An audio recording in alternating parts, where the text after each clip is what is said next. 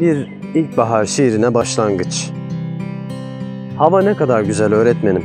Yollar, ağaçlar, kuşlar ne kadar güzel. Yeryüzü pırıl pırıl öğretmenim. Gizlisi saklısı kalmamış dünyanın. Nesi var nesi yoksa dökmüş ortaya. Bütün bitkiler, bütün hayvanlar, bütün taşlar, sürüngenler, konglomeralar, serhaslar. Hepsi, hepsi ortada öğretmenim. Ne olur biz de gidelim. Burada kalsın kitaplar, burada kalsın iğneli kara fatmalar. Kollarından, bacaklarından gerilmiş kurbağalar. Burada kalsın hepsi. Bomboş kalsın hepsi, bomboş kalsın evler, okullar, hapishaneler, hastaneler. Öğretmenim, sevgili öğretmenim, sırtımıza alırız hastaları. Kim bilir ne özlemişlerdir kırları. Ya mahpuslar, ne sevinirler kim bilir.